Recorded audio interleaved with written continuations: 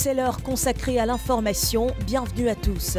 Au sommaire de cette édition, prix national d'excellence 2023, Cheikh Sissé Salla reçoit le prix du meilleur athlète ivoirien. L'actualité en Côte d'Ivoire, c'est aussi les élections locales 2023.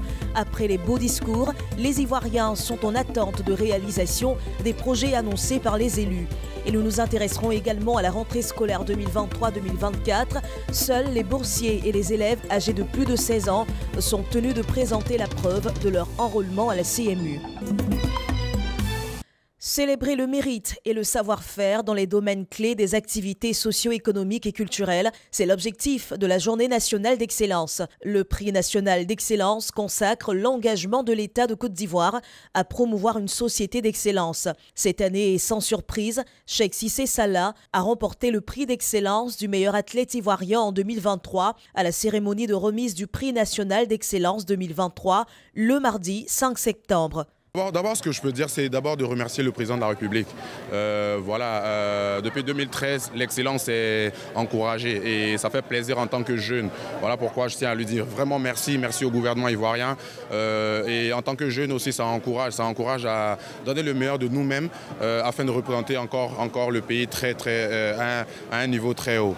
Il repart avec une enveloppe de 10 millions de francs CFA, un trophée et un diplôme d'honneur signé par le président de la République à la Des mains du président de l'Assemblée nationale, Adama Bictogo. Rappelons que Sheikh Salah Sissé a remporté l'or au Grand Prix de Paris et a ainsi décroché son ticket pour les Jeux Olympiques de Paris 2024. Pour cette édition spéciale anniversaire des 10 ans de la Journée nationale d'excellence, 83 prix ont été décernés.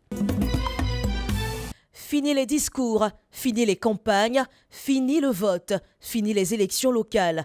À présent, L'heure est à la tenue des promesses des candidats élus et réélus, des dirigeants qui ont présenté des projets et qui doivent les réaliser le plus tôt possible. C'est en tout cas ce qu'espèrent les Ivoiriens rencontrés dans les rues d'Abidjan. Ce que je demande aux candidats, c'est de mettre plus l'accent sur l'éducation de nos soeurs et de nos petits frères. Mettre la priorité dessus aussi, le travail aussi pour la jeunesse. Déjà que les élus vivent dans la population, ils savent un peu euh, quelles sont les priorités, quels sont les besoins de, la, population.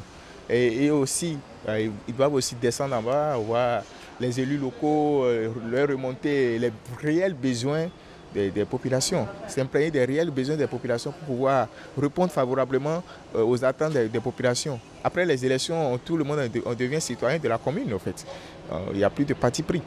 Pour les candidats élus cette année à la municipalité, j'aimerais qu'ils respectent leurs promesses et qu'ils s'occupent aussi de la jeunesse ivoirienne. Notant que ces élections municipales et régionales ont pris fin le 2 septembre dernier. Elles ont enregistré une large victoire du RHDP, le parti d'Alassane Ouattara.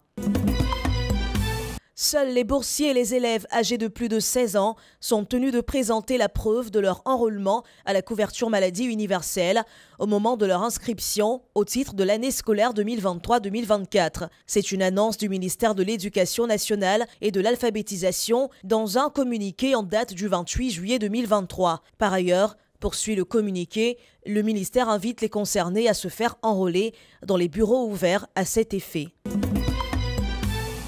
Les populations de Lilio, dans le département de Soubré, ont été exhortées à la cohésion et la paix lors d'un tournoi de détection de jeunes talents doté du trophée Louoba Robert, du nom d'un diplomate en poste au Mexique. Ce tournoi s'est tenu au stade du dit village en présence des autorités traditionnelles et sportives de Soubré. Au nom du parrain de la cérémonie, Lobo Caplé Zaboto a invité les populations à vivre ensemble. 2007, que nous avons choisi d'honorer les anciens gloires de football. Aujourd'hui, on n'a pas beaucoup de temps.